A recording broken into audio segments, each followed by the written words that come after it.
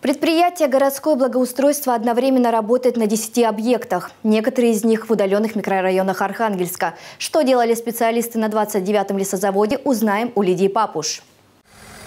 Предприятие «Городское благоустройство» продолжает работы на улицах Архангельска, в том числе и на его окраинах. 29-й лесозавод – один из удаленных микрорайонов. Чтобы жители не остались без сообщения с центром и могли перебраться через реку Ижма, специалисты укрепили мост, заменили прогоны и сделали новые перила. И все в кратчайшие сроки.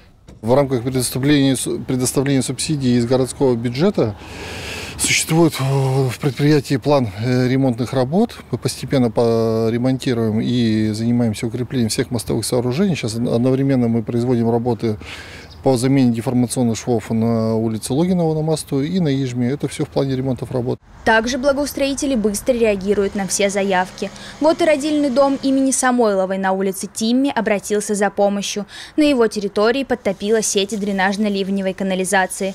Предприятие без промедлений выехало на объект. Вначале вручную прочистили дождеприемник, затем промыли пролеты.